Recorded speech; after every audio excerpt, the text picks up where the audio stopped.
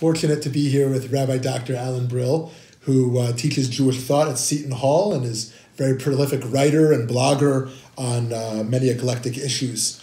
Uh, so it's an honor to have this time to talk Thank with you. you. It's glad to be here. So um, one of your recent interests that you've been writing on has been on Rav Shagar. For those who aren't familiar with Rav Shagar, he you know had his parents were um, uh, survivors. Well, let me can fill that in. Yeah. He was uh, parents of Holocaust survivors, trained the normal Israeli yeshiva system. Yeah.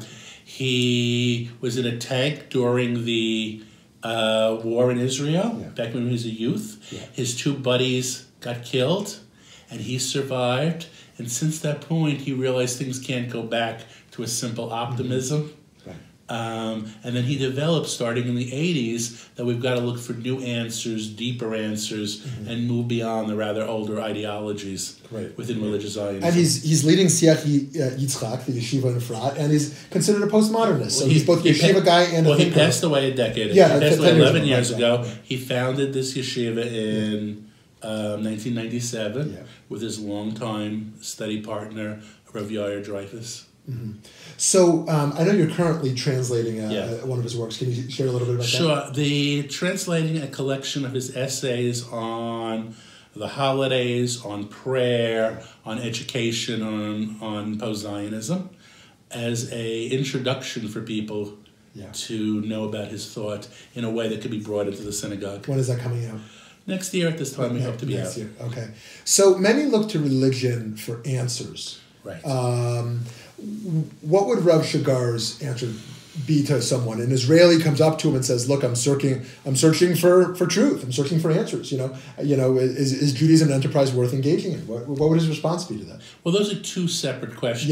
Yeah, yeah. The first one, Yeah. searching for truth, Yeah. he would say we now live in an era of faith, not truth. Uh-huh. We live in an age where there's no evidence, Right. there's no proof anymore, Yeah. and either you have faith or you don't. Right.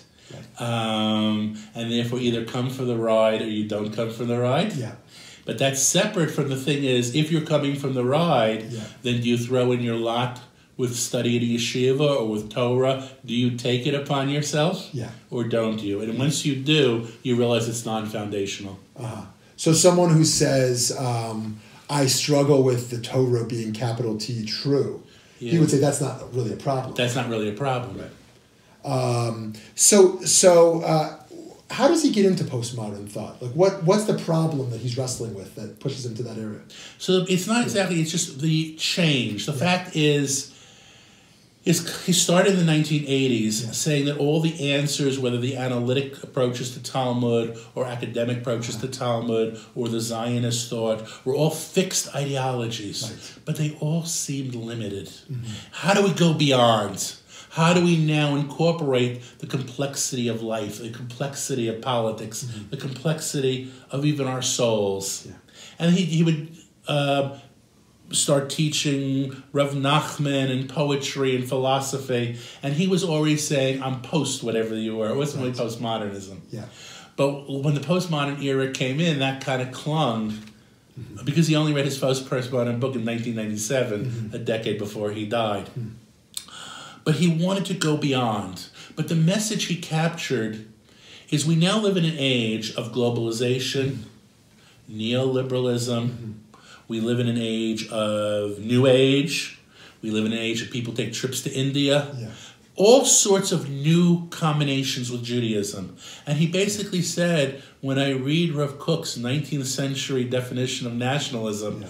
And what does it mean to be a Jew in the land, it doesn't go along with all of that. Mm-hmm. And if I can even say what the value is for American Jewry, yeah, yeah. that becomes the sense as he says, okay, we've got to go forward.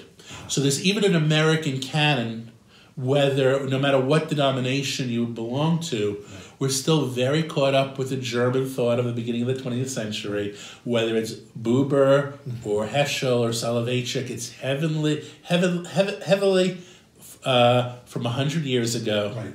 Nobody's doing anything to move beyond it. Yeah. And it's not that he's a theologian. He's not really writing the, the.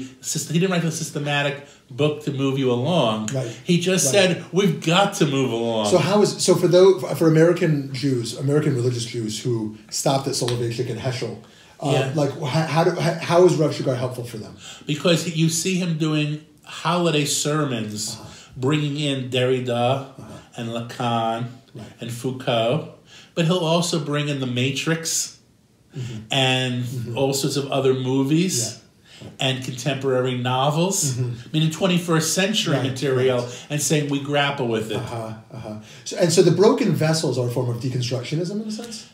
Or not in the tech, not in the American. Real reconstruction is a very technical thing. Yeah. Broken vessels, I mean, whatever we came into with the 80s, those Yeah. modernists right. don't speak to us anymore. Right, right, right, right, And we've got to look Yeah. to new to new visions right. to get our answers. So, so um, how would you answer the question of where we're headed?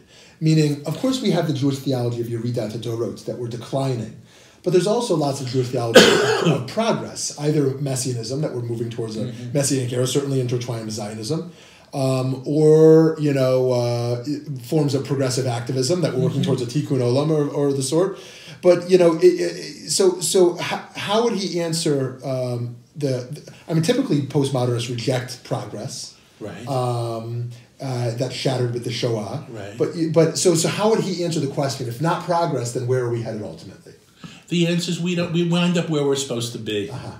To give you several t- theme and variations, moving individual to bigger question Mm-hmm. to nationalism. On the individual level, he says, if you do repentance, where are you going? So for an American Jew, even forgetting Heschel and Soloveitchik, even for Buber, repentance brings you back to God. Mm-hmm. But he asks in our our age of postmodernism in the 21st century Right. globalization, where we are returning to. Yeah. I don't know where we're returning to. Right. We all have to then go out and seek our paths. And then he would say, ultimately, repentance is the self acceptance Uh-huh. of understanding God. Whatever you're doing is what God wanted. Right. And in later language, he would use this um, phrase from the psychoanalyst Lacan Mm-hmm. says that the letter always reaches its destination. Mm-hmm. Meaning, wherever it winds up was where it had to be. Right. Right. Okay. So yeah. So then I'll give you three variables. yeah. So that's the individual level. okay. Okay. On the um, national level, he would say that he would say that the era of nationalism, of Rav Kook, of state building, of machismo, of army, those things of, was a era, an earlier era. But our era is now going to be a very something that we're still trying to figure out what it is. We don't speak 19th century nationalism anymore. Mm-hmm.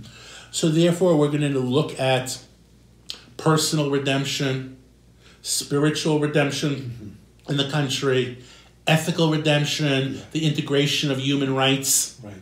The integration of working together with our Palestinian Right. brothers. And he's going to, it's not progress, but it's going to be a new vision. Mm-hmm. But he's going to go so far and say the Rav Kook vision was this concept of the Messiah of Joseph, meaning mm-hmm. the early stages, and his vision is now the fulfillment of it, the Messiah of David. Mm-hmm. But then he'll recoil and really, you know, say we really don't know.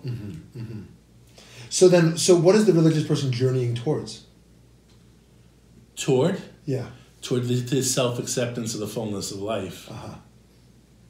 Self acceptance of the fullness of life. Right. Right. There's a, there's a quest here for fullness. Right. And that's why he'll even change the way Torah is studied. Mm-hmm. It's not programmatic in the normal Beit Midrash. Right. And this is his bigger influ- biggest influence. Yeah, yeah. He would now bring philosophy Right. and poetry into the study hall. He would bring in Agadah. He would bring in um, yoga. He would bring, uh, for example, in his yeshiva, right. they're now studying as part of the yeshiva curriculum a Jewish understanding of the Yoga Sutras. Uh-huh, No yeshiva on earth is going Right. to do that, but it's a look for a new conceptualization of where we're going. Yeah. But at the same time, he'll also have a. There'll also be classes on more on Jewish thought and Right. Hasidut. So the, so the, so the fullness of life you would think would require some kind of halachic innovation, but he's a traditionalist. He's a traditionalist. Meaning, how could he be so radically open? Meaning, how does he root his um, lack of desire for halachic innovation, essentially? Uh, if if all of this fullness has to kind of come into the conversation, but if it has no poignancy to kind of move us forward, at the same- because he's he's moving the conversation to these other questions. And that's why already from the 1980s, he made Rav Nachman his focus. But Rav Nachman not as, you know, Nana Nachman or enthusiasm, Yeah. but let's use passage to talk about what is the role of prophecy. What is the role of silence? Yeah. What is the role of poetry? Yeah. What is the role of, of confessing what you've been doing? Yeah. He's looking for an expanded religious language, Mm-hmm, not legal language. He's going to say that, that when it comes to the legal question, he's going to throw it back on you, and giving the example of everyone who came from Europe whose parents were traditionalists, and for many decades the yeshivot retrained the children to be halachic Mm-hmm. and to go against the traditions of the old country because now the textual traditions, the halachic traditions, no more, and whatever your grandparents did is put on a burner, Yeah. back burner. Yeah. He said now that people want to go away from that, you actually are going back to the true wisdom. Mm-hmm. It actually is the wisdom of being light and cool and not getting hung up on the legalism of it. Mm-hmm. Yeah, yeah. So, so I think my last uh, question then is uh, on the tension between moral relativism and being a moral agent. How does he navigate this sense that we have a, you know, whether it's a Zionist project or a universalistic project, Yeah. that we have a responsibility to be engaged in society on a moral level? So I'm going to def- take it to where the- he goes with it because he doesn't yeah. use that language. Yeah. Agency is a very you know modernist category. Right, right. He uses the Rav Nachman categories. So he'll talk about, for example, he's got a lot criticizing capitalism and neoliberalism. Yeah. Because he'll say that Rav Nachman thinks that the accumulation of wealth Mm-hmm. is egoism. It's greed. It'll corrupt you from the core. If you are greed and you live your life to make money, Mm-hmm. Yeah. you can't pray, as Rav Nachman said. So it's the master of prayer versus the master of greed. And then he'll look at on the society as a whole and say we need more prayer and poetry and silence Mm-hmm. and less of the accumulation of wealth. Yeah. Less less concerned about the question of moral agency. Right, right. Okay. Very interesting. So, if folks want to read more, learn learn more Rav Shagar Torah, what do you recommend for them? I have most of my translations already up on my website. How many are up there? Uh, there's 19 pages. I don't know how many actual Okay. trans- Okay. 19 pages up of uh, of Shagar's Yeah. thought that I've that's been translated between Levi Morrow Mm-hmm. in, in Israel doing the translations. They're up online. You can read those and gain some insight. Very good. Thank you very much.